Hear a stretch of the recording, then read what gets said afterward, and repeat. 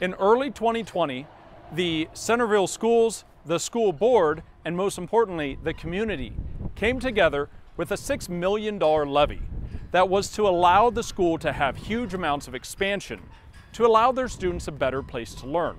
Unfortunately, the inflation over the next four years would slow that down. So this is part of the expansion. So what we have here is our new, the hallway stayed the same throughout here. The flooring is new. The cafeteria used to come through this area here. This is uh, the new senior area, which you see here.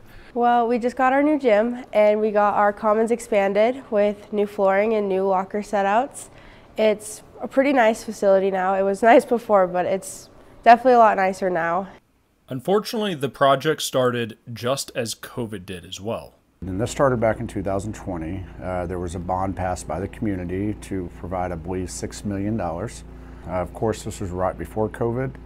And then after COVID, as everyone's aware, inflation rose up, prices, your buying dollar did not meet the same exact amount. So what was 6 million back in 2020 turned into be about 3.5 in 2024. This massive new expansion opens up opportunities for students, including a larger and second gym, which allows more students to have lunch, meaning that we don't have to have small children waiting until later in the day for nutrition. It also means shorter hours during practice. And now this is one of the big things. There was two things with this project was having lunch in a bigger area to accommodate more kids, which we have done.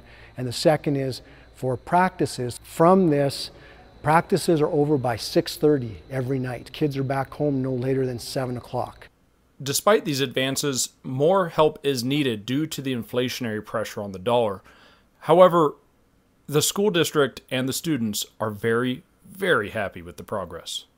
I believe the levy will last for 20 years on the community to pay for this. Um, so I am looking at other options such as grants to the state, um, possibly low interest loans to find ways to finish up the rest of the project, including building our locker rooms and um, just fine tuning some additional things. I feel like we're a lot more connected in with the school. We do a lot, we see all of the preschoolers through the seniors, everybody's seeing everybody everywhere, so we're a lot more connected.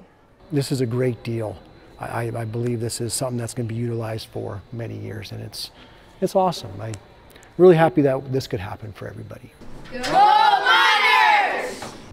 In Centerville, I'm James Rowland, MTN News.